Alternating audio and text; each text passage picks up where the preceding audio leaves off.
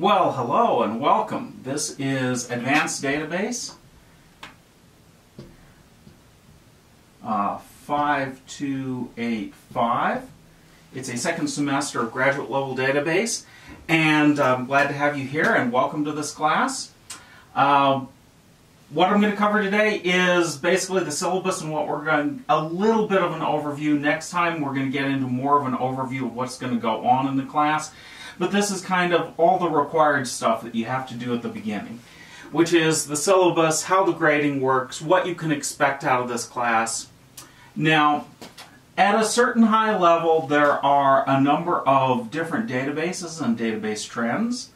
The big trend in the past few years has been for a thing called NoSQL. And NoSQL, we're going to look very specifically at a database called MongoDB. MongoDB is the most in-demand NoSQL database out there. There is a second one that we may actually also use in this class before we're done called Redis. And Redis is sort of a database, but mostly Redis is a data structure that's shared in memory on a single set of computers. So it's kind of not a database, too. Redis is useful for all sorts of things besides what a database traditionally would be used for. I use Redis for caching in a lot of different ways.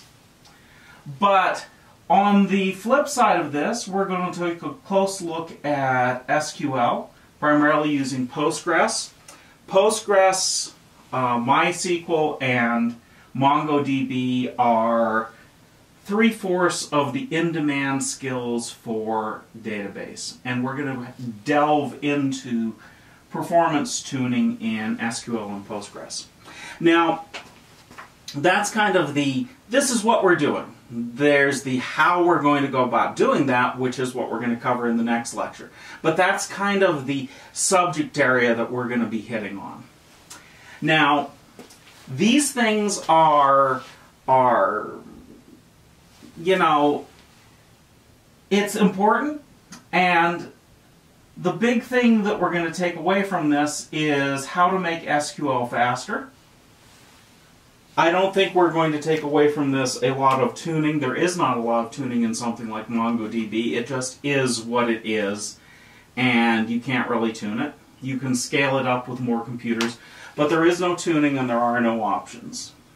So who am I?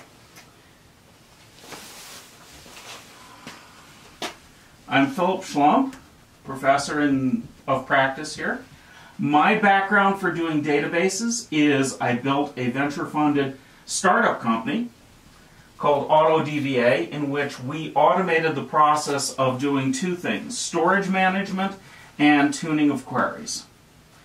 And those two things for a database at the time 20 years ago were the primary things that database administrators did.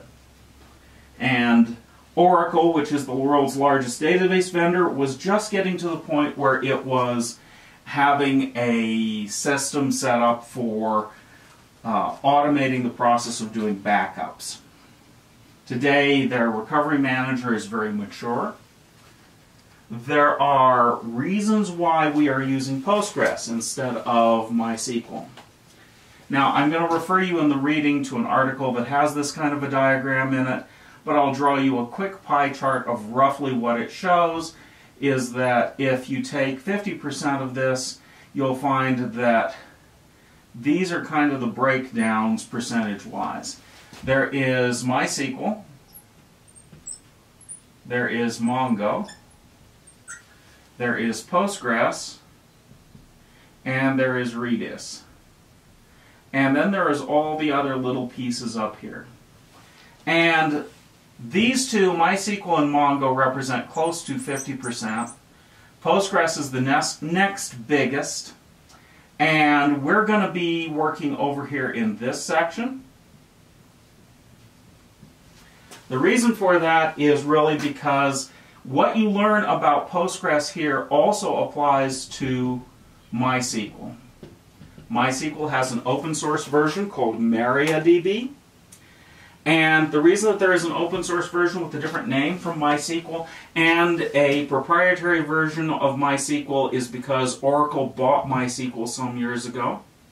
I spent um, a big part of my career being a Oracle database consultant, Oracle DBA. And I have a lot of experience with the Oracle Corporation. And basically, although it is very profitable and you can get good jobs doing it, if I had a choice, I wouldn't touch anything the Oracle Corporation uses, or develops, or works on. Now, since Oracle bought MySQL, and this isn't the first database that they've purchased, this is many down the road, they have basically gotten rid of all development on it. There's very little changes, no development happening. So if you want something that is being currently developed, you're going to use MariaDB, which has a much smaller developer community than it used to or you're going to go to something like Postgres. Postgres is very actively being developed and having new features added to it. So, to what I mean by no development. Uh, 20 years ago, Oracle added timestamps to its database. And there was no conversion between timestamps and dates. And you would think in a database, if you had timestamps, you'd have a way to get to dates, and from dates back to timestamps. And there was a defect that I added that said you have to have this conversion to their database of defects. 20 years later, they still haven't addressed that defect. It is still planned, and they still haven't fixed it. And there's still no conversion in their database. That's what I mean by no changes. Basically, for strategic business reasons, they just don't make any changes to it anymore. So, MySQL, like other products that they've purchased, is going to be in that kind of a world. And that's not where I want to build my future products. So I'm over here in this world with these databases, Redis, Postgres, and Mongo. And I'm going to give you some articles to read on the web, like why to never use Mongo. We're going to talk about that, and what some of the disadvantages are in Mongo. But that's kind of the picture. The plan for learning Mongo and Postgres really thoroughly and query tuning is to implement an emulator for Mongo in Postgres. So we're going to tackle that as a project. Now this is a project I've never built before. So, you know, I'm taking some guesses as to how difficult the homeworks are. I could be wrong. This is not, I've built every piece of this and I know this thoroughly and consequently this is a known thing. This is, we're going to build this project together. And if something is turning out to be a lot harder than you would expect, that's okay. You're going to get more points for it, or it's going to take longer, and we're going to adapt the schedule as we go. But after we get done building an emulator, which I actually think is going to be a fairly straightforward project, we're then going to turn to monitoring of Postgres, looking at the queries in it, and figuring out how to tune those queries automatically. That will be somewhere later in the semester. And that's the reason for Python and TensorFlow. Is because when I built a company, what we did is automatic query tuning using machine learning.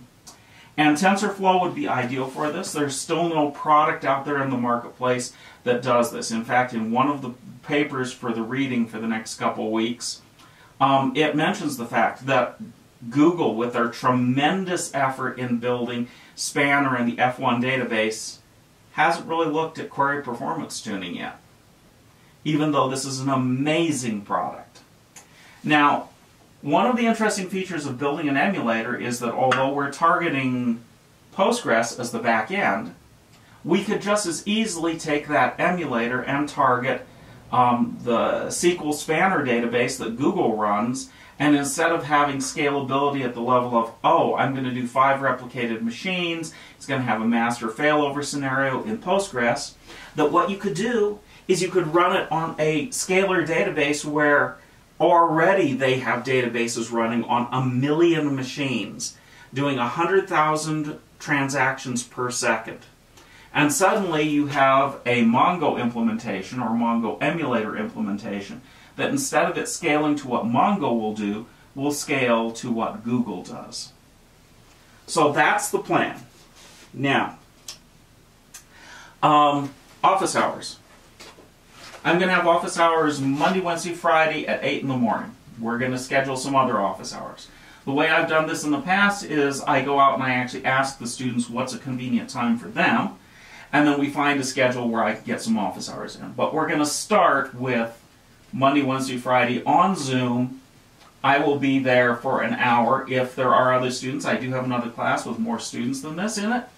If there's somebody else asking questions, be patient. I will get to you. I don't have anything scheduled afterwards, so I can run later in the day. So that's where we are for that. Now, I will also make appointments and I'm expecting to work individually with each one of you. So, you know, that's where I'm going with office hours is we're going to do appointments, we're going to talk one-on-one, we're going to work interactively through Zoom, and we're going to learn a lot about how to do remote work and how to build remote database teams. Now, there's some motivation in this remote stuff too. And you look at companies like Google, Facebook, uh, Twitter, and a whole at, at uh, you can't sell it, say it today. Atlassian, okay, have all announced that now that they're remote, they're not going back anytime soon. So lots and lots of companies. In fact, Gartner, who does forecasting for the entire IT industry, has found, talked to uh, CIOs, Chief Information Officers, CTOs, Chief Financial Officers, and found out that 74% of high-tech businesses, now that they are remote, are going to stay remote, probably indefinitely. So what we learn about working remotely right now in this class and building remote teams is applicable to what you're going to be doing in the future, most likely, and how to work remotely and what you do. That's an important set of skills as well, and we're going to be working on that. My background in doing remote work is that I worked for a startup some years ago, and they were a remote company, and I helped them set up their remote teams. I spent a year and a half working with them. I did a bunch of development work for them, but the entire set of processes to get in place to be a remote company, I worked that through with them onboarding, how you start out, how you communicate, what you have to do. Now, some of this is not going to be as much as in a remote business, but we are going to hit on some of that as, as we go through in this class. So, we have lectures, we have uh, two tests. This is getting into how we're grading the class. We have a bunch of reading,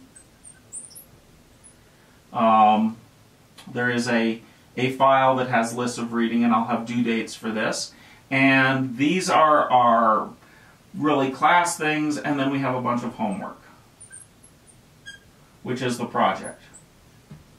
Now, the tests, the midterm and the final, represents 23% of your semester grade, which means that most of your semester grade comes from the participation and basically the homework, the project, building the stuff. And we may, by the end of the semester, if we can squeeze it in, have you do short 10 minute presentations on part of what you've done in the code. And those are just going to be like a structured walkthrough. They're not going to be a big deal. If we do presentations, we probably will have that instead of a final. But that's yet to be determined. So this is kind of the layout of the class. There is a table on page 5, I think, in the syllabus. I emailed you the syllabus this morning. I think it is page 5 that lists your number of points to get a semester grade. It looks like that. Okay. So look at page 5. Page 4 has the homework. The first couple homeworks are you have some sort of a client out here that is talking across a network to a Mongo server. And when it talks across the network, there is some sort of a wire protocol. We're going to intercept that wire protocol and take a big look at what's going on in that protocol. And there are a bunch of reasons for that. If we capture that wire protocol, then our emulator can sit here and be our Mongo emulator right here from the wire protocol, and the client doesn't have to know that it's had its back end replaced. We can also use this wire protocol to do things like determine the timing of how things, fast things happen in Mongo and what it returns. So we're going to be delving into what is that wire protocol and how does it work. And that's going to be the first couple homeworks. When we talk about proxies and servers, this is the stuff. Is where is this, how are these things put together? What is that wire protocol? How do we time things? How do we get actual benchmark data from something like this? Because ultimately, that wire protocol and the timing in it determines how long it takes for Mongo to do something. Now, if you looked at Postgres, you'd find that it also has a wire protocol, and it has emulators set up in the same sort of way that there are people that have poked into the wire protocol and done stuff with it. And that is a critical spot for you to be able to intercept, change, modify, understand what's going on inside a database. If you want real timing information that isn't like corrupted by other layers like buffer pools and stuff like that, that's the spot to dig into. So that's our first set of a couple homeworks, is the protocol and how we dig into that wire protocol. Now, when we get access to this protocol, we also get some other benefits. We can build an automated testing engine because if we've got a client out here and it talks across to a server, but we can actually tap into this and put ourselves in the middle, we can create files with information about what's going on in here. Not only is it good for debugging because you can look at this and say, oh, I see where the problem is. It's not that this is not doing it right, it's that this is not doing it right. We can also use that to take these files now and we can eliminate this guy and we can run them back into here and we can repeatedly test the database server side as well. So there's a whole bunch of testing and automation and utility to getting into that protocol, pulling it apart, finding out what it is, and being able to capture it, save it, replay it, modify it, and we're going to mess around with that kind of stuff too. So there's testing advantages. But one of those pieces is how long it takes, and we get timing information out of it. That's the first set of homeworks, and we're going to be building those in Go. Um, Go is pretty much an ideally suited language for doing that kind of work. It has all sorts of facilities for doing things like building a web proxy, and it has libraries that specifically will allow you to take this, it's JSON in binary called Bison. Okay, no, I did not spell that right. B-S-O-N. Take out the I. BSON, okay, which is binary JSON. And it has libraries built in that are available that will take this and turn this into text. So it's got libraries in it that make doing this project much easier than other languages. A big part of the reason for that is that they use Go in building MongoDB. So we get access to a bunch of stuff like that, and we can poke around and use it, and we don't have to wonder how do we reverse engineer their protocol. No, the protocol is all known. There's a protocol document out there and the libraries to access it. So that's our first set of homeworks for this, and where we're going to go with those homeworks. Um, in the syllabus, I think on page 7, it has a list of the lectures. And I will tell you right now that that list of lectures is only a, a preliminary list. It is not a perfect list. We're going to have to see where we end up with stuff in this plan. And I've broken it out by week, not by class, since this is an online class.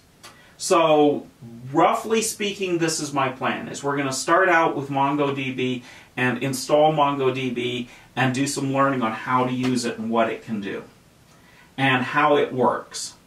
Then we're going to go over and we're going to work on Python. And we're going to take Python, or not Python, I mean Postgres. We're going to go over to Postgres, we're going to get it installed, and we're going to experiment with Postgres and using some indexing and how it supports JSON data. After we've gotten kind of both sides, we're going to poke into the protocol more in details and look at that. And then we're going to start working on our emulator. So our first few weeks are kind of the background to this and how it works. Now, I have a, do, have a list of reading for you to do. There's journal articles, primarily having to do with um, Google's Spanner and F1 databases. And what Google did is they went out and looked at a whole bunch of code. And we're going to get into more details on this in the first lecture, but they went out and looked at a bunch of their code to find out how effective are these NoSQL databases. And there is the mantra that, you know, if you want scalability, you have to do NoSQL. And there are these two concepts. There is an article that describes them in detail, but you need to know what they are. One is called ACID. Okay, and I will get you the original article on this to read, but this one I'm pointing you to a web page gives a nice discussion without getting into all the technical details, and the other is called Basic. And Postgres does ACID compliance. This is hard. Basic is what Mongo does.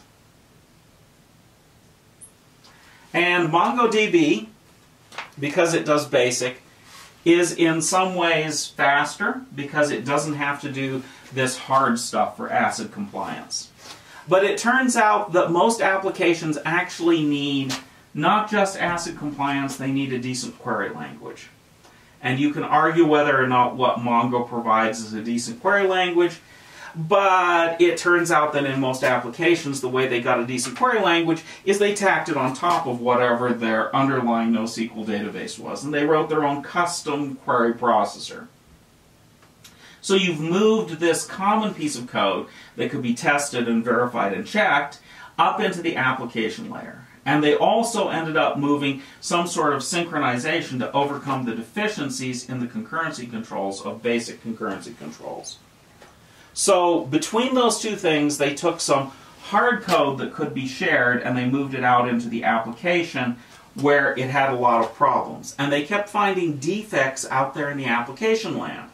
So Google finally said, you know what, we're going to take a serious look at this and see if we can't get back to doing SQL queries in an ACID compliant database with all the advantages of a NoSQL database.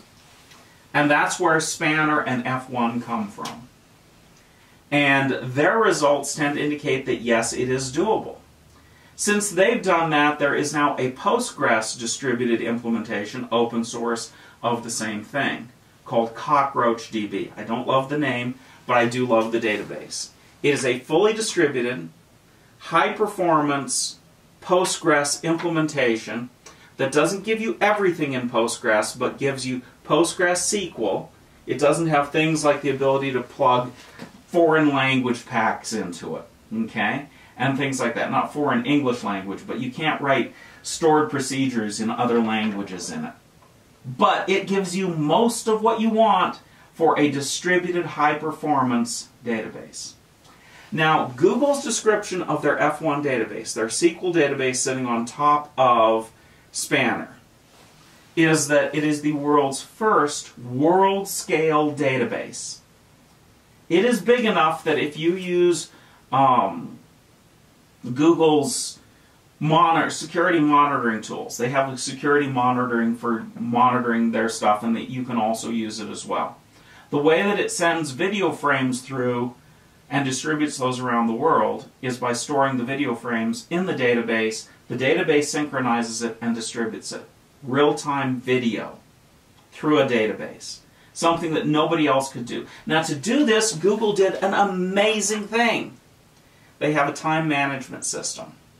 And their time management system involves them actually building and testing atomic clocks in each of their data centers so that they can have accurate, picosecond accurate timing in each database system around the world that is consistent. Now, back in 1914, um, Einstein published a paper on general relativity. And um, most people don't realize that's not what he got his Nobel Prize for. But his general relativity paper, you know, would be tested and found sure looks like this is the way the universe actually works is general relativity. But, you know, in terms of being a practical application, what are we going to do with it? Uh, it's there, but what do we use it for? I mean, his other paper that he got a Nobel Prize for had to do with uh, picking up light and photosensors. And he got the Nobel for that. Uh, but the general relativity, even though it is an amazing thing that he published, well, what are we going to use it for? And the first commercial application for general relativity, now we're talking about the curvature of the universe here, is we've got planet Earth out here, and we've got a bunch of satellites, and we want to find our location based on timing signals on the surface. This is called GPS, Global Positioning System. And it turns out that these signals don't come straight across, they follow the curvature of the gravity well that Earth is sitting in. So to calculate out GPS positions correctly, we had to use general relativity. Now, if you didn't take into account the curvature of space-time, you would be off by somewhere between 1 and 2 kilometers whenever you do a measurement, whereas GPS signals are accurate to these days to within three centimeters. So between one and two kilometers and three centimeters, that's what difference using general relativity is. And that was the first commercial application of the general theory of relativity, without which this multi-billion dollar industry and things like autopilots for planes and navigation and our cell phones that we use that can tell us where we're at would not work. The second commercial application for general relativity is the Google Timing API.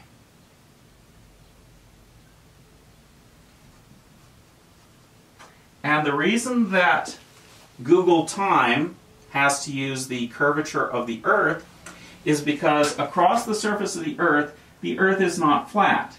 Some things are higher and some things are lower. And the farther you are away from the center of the Earth, that radius, changes time. And when you're trying to track time in picosecond quantities and get it accurate, the elevation of your data center around the world affects how time goes by. And consequently, they have to take into effect, into account general relativity and the curvature of space-time. So this world-scale database and their accurate timing API is the world's second application of research from over 100 years ago. Theoretical physics. And uh, I just thought I'd throw that in as an anecdotal thing. But yes, we are going to be reading about their database and how it works. It is an amazing thing. And uh, it's one of those common knowledge was that you couldn't build this and it wouldn't work. And they went out and figured it out. And based it off of a bunch of research by Leslie Lamport. Um, and we will have that paper in this class as well for you to read uh, on synchronizing concurrent data. In uh, 82 to 89, he did these series of papers. Uh, another one of his papers on data, which is really worth reading, although it's not relevant to this class, is the one where he talks about the Byzantine generals problem. And that other data synchronization in the Byzantine generals problem is the basis for blockchains. So, in a few short years, he did that and also invented LaTeX. So, an amazing, amazing set of research that he did and development work that he did in just a few years. So, that's kind of the overview overview of the class, what's in the syllabus, grading policy. The rest of the stuff after the schedule is we do have a late work policy. Okay, the rest of the syllabus is the required pieces that the university makes me put in. Most of this you can read, you've seen it before in classes. There is a new section in there on SARS-CoV-2 COVID-19 related policies that basically says you have to comply with local laws while on campuses for things like masks. University of Wyoming is requiring masks on campus. I don't think that affects us too much in this class, although there is the possibility that some of you may be actually on campus working on this. If you are, let me know. I do want to know that. I would also ask that each of you go into your profiles in the uh, Web and add a picture so that I have a better idea of, you can put in a profile picture, so that I've got a better idea of who it is I'm talking to and who I'm grading. That'll help me in the process. It's not required, but I'd really like it if you put in some sort of a picture of yourself in there. And I'm not going to distribute the pictures to anybody. It's just so that, you know, when I bring up your grades, I see this is the person I'm talking about. This is who I'm dealing with. That helps me. And if there's messages, it shows up in the messages as well. Now, part of this class is probably going to be some amount of discussion. We will schedule that when we're going to have it, and I'll work with your individual schedules. But my suspicion is that since most of the classes are online, the scheduling for that is not going to be too difficult. Now, normally in a regular class, this would take a little bit long because there'd be some questions. But today, I think I've actually covered the material I wanted to in the syllabus and the introduction to the class. And what we're going to do instead is I'm going to contact you individually and see if you've got questions about what's in the class, what's going on, how we're going to approach this, other things like that. One last detail. Okay, we are using Go which means that if you're not familiar with Go and programming in Go, we're going to have to work through some stuff on that. We'll do that outside of the regular lectures on an individual basis. I do have a PDF of a good book on Go called the, um, oh good heavens, I can't think of the name of it at the moment. But I do have a PDF on it. It's out of print, but the book itself is only about 90 pages. Go is a simple language to learn and an easy language to learn. So that shouldn't be too much of a challenge. Well now, this is an exciting moment as far as I'm concerned. We're starting off on a journey to figure out if we can take a major product and emulate it and replace it with something better and solve a lot of problems. And in the process, hopefully we'll not just do that, but we'll also learn a lot of stuff about how these different things work and interact. All right, until next time.